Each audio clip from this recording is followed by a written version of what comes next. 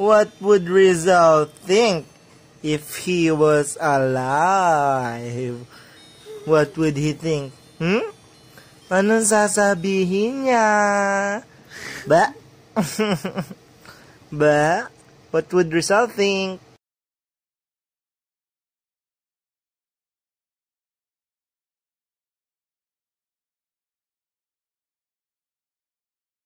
Ang ibig kasing sabihin ng tukhang is not really because para patayin yung mga adik.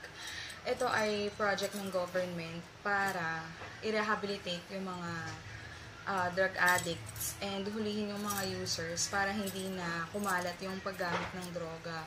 So, para sa akin, bilang si Rizal ay kilalang reformist, ang gusto niyang mangyari ay magkaroon ng lakas ng loob yung mga Pilipino para paundarin hindi lang yung bansa, para pati na rin yung sarili nila.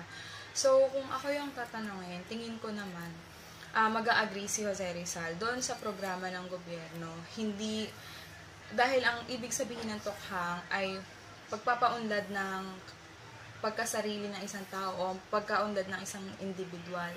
Ginagamit lamang ang tukhang ng ibang mga hindi sang-ayon sa gobyerno. Okay.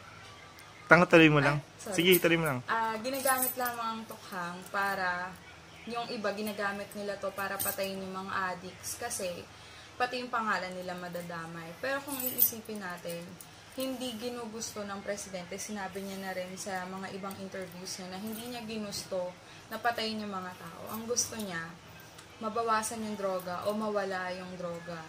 So, si Rizal, kung yun lamang din ang magiging programa ng Pangulo, feeling ko na mag-agree siya. I think okay lang naman yung program na ano, Tokhang. It's just so happened na na-abuse nga ng ano, ng mga kapulisan yung authority nila to the point na hindi na nila pinapahalagahan yung value ng life pero kung magpo-focus lang sila kung ano talaga yung yung main goal ng program na Tokhang, I think ma ma maayos yung magiging kalalabasan niya and magiging mabuti yung um, kada, kararat na nung, nung goal ng program nga. So, instead na pumatay tayo, since ang main goal nga is to rehabilitate,